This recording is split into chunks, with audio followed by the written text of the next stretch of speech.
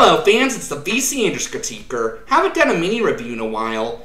Anyway, a lot of you guys are familiar with the classic special Why Charlie Brown Why, when old Chuck had the balls to delve into the very hot issue of cancer, but not many people are familiar with when he had the balls to go into the only slightly less hot issue of divorce only five years prior, and that's hardly a surprise because you can't find that video on streaming, DVD, or even an upload on YouTube. In fact, it's not available anywhere because it doesn't exist. Now, please remember, I did say in the title this was only kind of a Peanut special, so the title was completely false advertising just to get more views from you guys.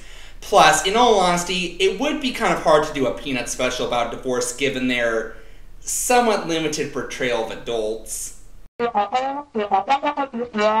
What do you mean you guys are getting divorced? And Daddy's running off with Peppermint Patty's dad and filing to not have to pay child support? Good grief! However, Bill Melendez did still give us a special on divorce in his classic Peanut style in 1985, which in my opinion is the greatest handling of divorce in all children's media. It's funny how while lots of children's shows are brave enough to delve into even more serious issues like terminal illnesses, racism, sexism, death, and even freaking drug addiction, not many cartoons have the balls to go into detail with divorce, which sucks because, like all the other issues mentioned before, may suck ass, but it's a part of life that kids should learn that they sometimes just have to deal with. Hell, even Sesame Street chickened out at the last second when they were planning to do a divorce episode, what, death's okay to go into great detail with, but not divorce? And again, whenever a kids program does gather up the courage to go into the hot issue, it's usually done pretty delicately and half-assed. It's usually just a side comment like a kid cries, My mommy and daddy are getting divorced. I'm so sad. or, Will my parents get divorced if they fight? and then some adult comes along and tells the mother why he's like this. You did not do anything to cause your parents to get a divorce. Not anything. Children don't cause divorces. Grown-ups do. Divorce is a grown-up problem. Unfortunately, it hurts children too. Sometimes adults lose their tempers and argue. Just like kids disagree sometimes or get mad at people they love. This is all my fault, isn't it? Yeah, kind of. Dude, you're not supposed to say that. Yeah, I know that's not a kid's show, but I couldn't resist putting it in the lineup. But in 1985, Bill Melendez, who also showed he wasn't afraid to tackle cancer only five years later. Oh, he didn't? Huh, never heard of him. Well, anyway, Melendez apparently decided that if no other kids' media was going to cover the sensitive topic in extreme detail, he might as well, and gave us an all star cast animated special doing just that called Happily Ever After. Uh, no, not that Happily Ever After. You disgrace Bill Melendez just by assuming I'm referring to that piece of crap. Uh, that is a very underrated series, but no, I'm not referring to that Happily Ever After either. Thank you! And while this isn't technically a Peanut special, you can definitely tell this is from the same director. From the choppy but charming animation, to the jazzy background music, to the snarky writing, to actual children doing the voices of the child characters, and more. But okay, what's the story? Well, it's about this kid named Molly Conway who's pretty much an older Sally Brown, who lives with her parents, voiced by Carrie Fisher and Henry Winkler, and Snoopy and Spike's long lost brother Ribbon. The kid aims to be the next Lady Gaga one day, but for now we'll have to settle with hopefully landing the lead partner school play as Cinderella, but even that may not be within her grasp. For one, her teacher, voiced by June Foray, apparently casts actors depending on how well they fit into the costumes rather than how much talent they display. Yeah, it kinda seems like they predicted Hollywood in the 2020s, huh? And even worse, her parents are too busy bitching at each other to offer much encouragement during this time. Hell, they're apparently on such bitter terms with each other that her mom would rather kiss her daughter on the lips than her husband. Get hot water. Get some disinfectant. Get some iodine. Uh, no, get the friggin' police! Well, I'm sure her dad will. Will you come to see me if I'm in Cinderella? Well, you bet your little pink booties. You know what? On second thought, screw the police. FBI, open up!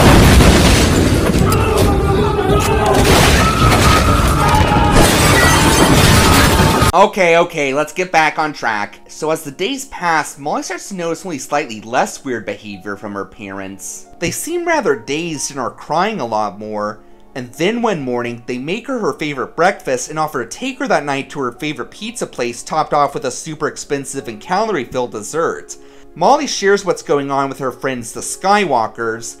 Yeah, apparently the filmmakers really wanted to show off that they had Princess Leia in this. May the forced references be with you. Anyway, she and the gang examined the weird behavior, namely the constant mood swings, the arguments about money, and the fact that they're taking her out to her favorite restaurant with all her favorite foods. And yeah, they start to connect the dots and realize what's happening.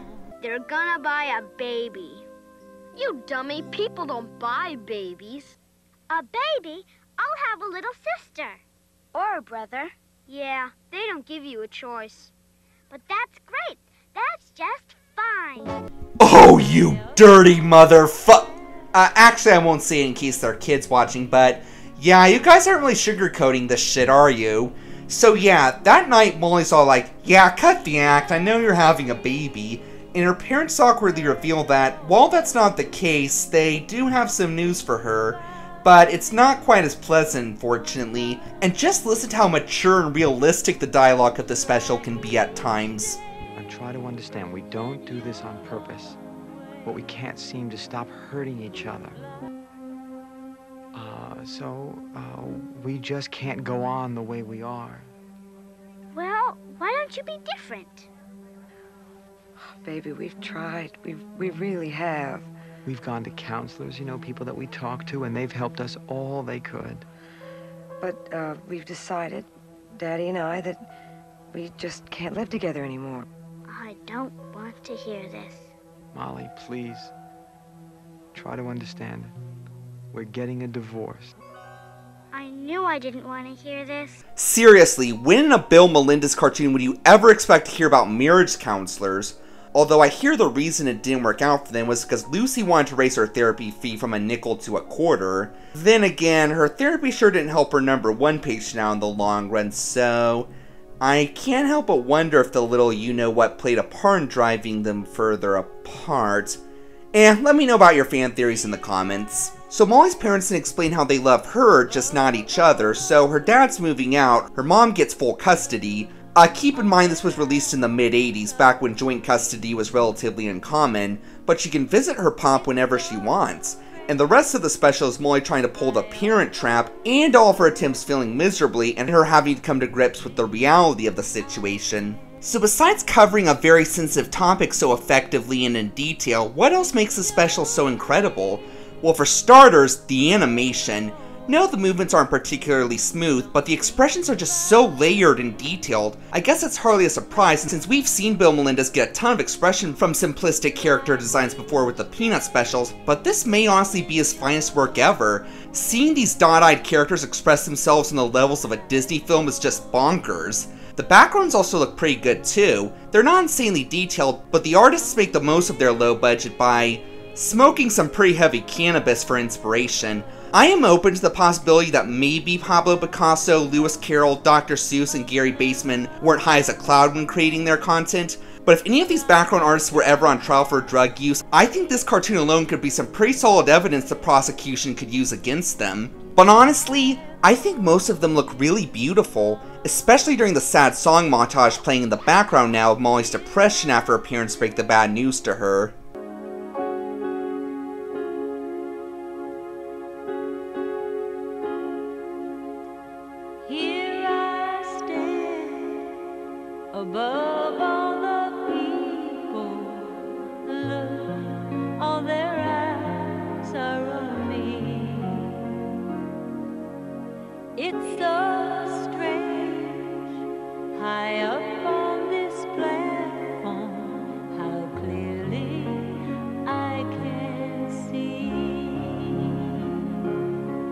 Yeah, to hell with It Changes from Snoopy Come Home, this is the saddest song in any Bill Melendez production. I mean, it happens right after her parents do the one thing you never do when you're in love.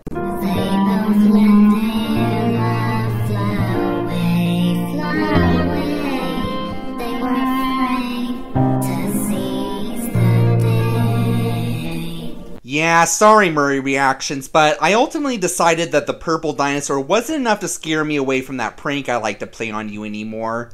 Face it, Thomas Murray. You'll never be rid of me. Yeah, you can say that again, Hilda. I mean, what could you possibly throw at me that's worse than Barney? But moving on, the story is every bit as effectively dramatic as its animation, partly thanks to its stellar all-star cast. Take the parents' introduction, for instance. It's only about two minutes, but Winkler and Fisher's vocal performances, topped off with Melendez getting into the background artist spot while directing, plus a few other times here and there in the movie, really makes it believable that these two were just inches away from divorce. You give it a rest. Give Bates and Freeman a rest. Bates and Freeman happens to be my job. Career. All right, career. Obsession. What? Nothing. What did you say? Could I have the toast and butter, please? Did you at least deposit those checks? I don't want to be over. But I, I'm not the only one. The what? The, Who spends money? I didn't say that. You spend your share, all and right. I bring in all of it, don't I? Oh, And I thought the parents fight in The Incredibles was intense, but at the same time, you also feel a lot of love and support to Molly in their performances to her, making it clear that they don't love her any less and the divorce is not her fault at all. Oh yeah, that reminds me, remember both those overused divorce tropes I mentioned in the intro? The special keeps them, but doesn't spend all its time on them either. It has Molly wondering if her parents split up because she was slacking on her chores and her stepping up her game, but then her mom saying no, not her fault, and then moves on from that. And don't get me wrong, it's important that kids know that divorce is never their fault. Well, unless said kids are Will Ferrell and John C. Reilly, but those two are something else. But it also knows that there are plenty of other issues to teach kids about divorce and moves on from that. What about the mommy and daddy have one fight in their divorce cliche? Well, one of Molly's friends, Joey, is going through this, mostly because his parents are voiced by then real-life couple Danny DeVito and Rhea Perlman, two of the biggest hotheads in Hollywood at the time. Are you telling me that I can't count? Come on, what, who, what happened to it, Rose? Come on, tell me. What happens to it? Some nights you can't even count past the sixth inning. What kind of crack is that supposed to be? Ah, huh? you heard it. You figure it out. And yeah, I'll address the elephant in the room in a bit. So Molly decides it's time for Parent Trap Plan B, since the present from Daddy scam was a bust, and says, Let's run away, and our folks will be so overjoyed to find us, yours won't split up, and mine will get back together. So they try it, but their folks see right through it. Anyway, DeVito and Perlman explain to their son that they're both obnoxious, loudmouth hotheads, and that's just how they communicate. Doesn't mean they hate each other. Yes, I know that it's extremely ironic that these two actors deliver this cliche, seeing how DeVito and Perlman eventually divorced as well. But point is, handles the cliche perfectly and doesn't waste all its time on it. But I think what really makes this special shine the most is Molly. She's already a pretty likable character, being ambitious and driven, but also wanting her family back together at any cost. But the kid who voices her is not exactly Hollywood material, but does have a lot of passion and dedication to the role. She definitely has the same plucky cuteness that most of the kids who voiced the Peanut characters did as well, but also really sells the emotional scenes. Well, what am I supposed to do? I can't. You just don't care how I feel. Either of you. I hate you. Both of you.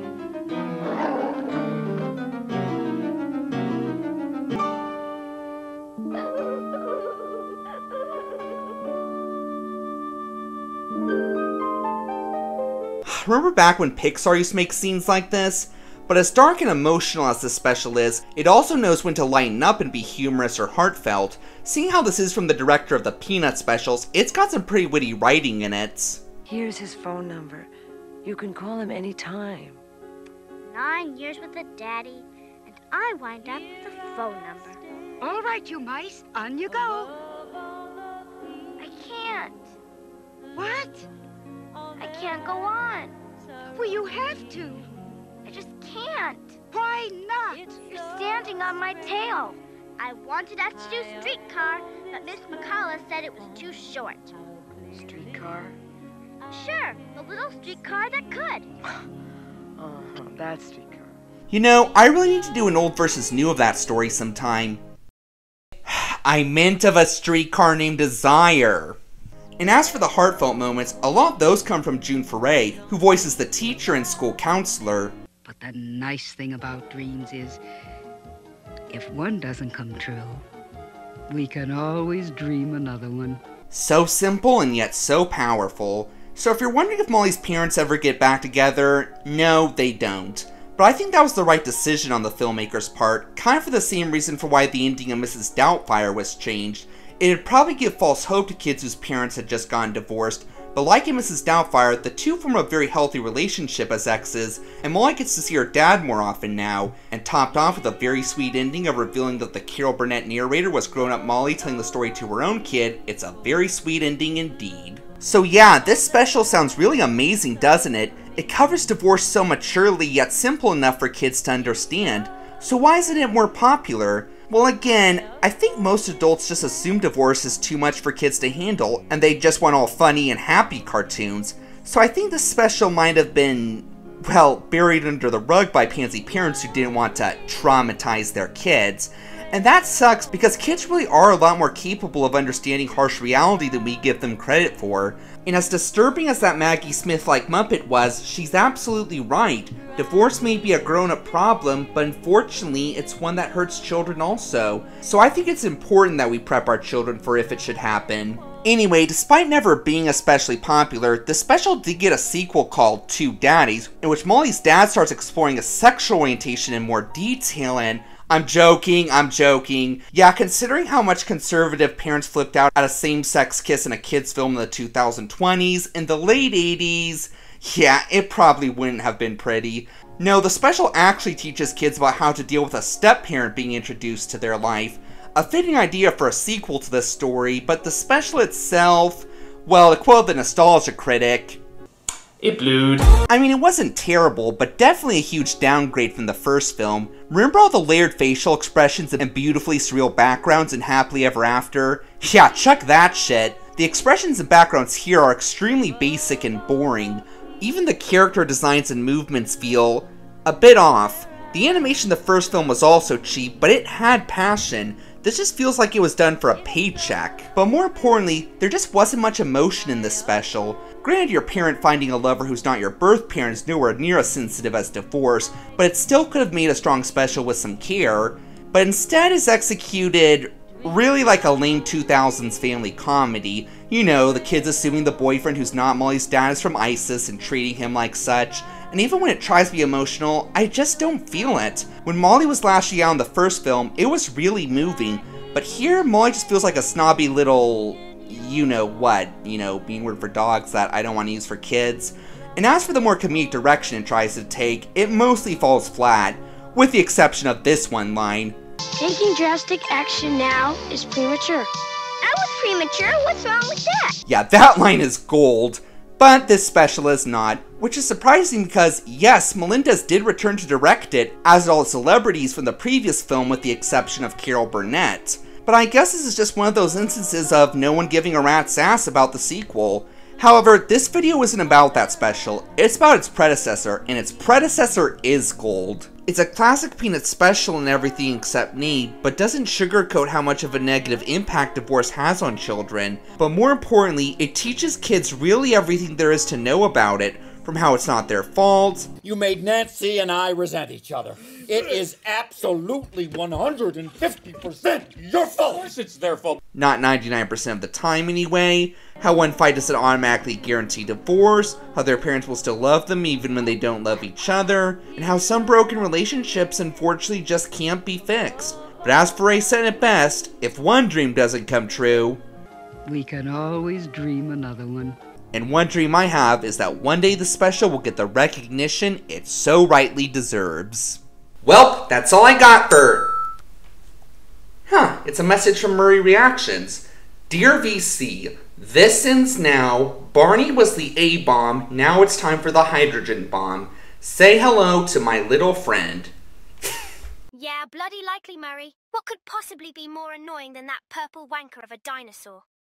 Yeah, you tell him, Hilda. Come on, man. What you got for me? How about this?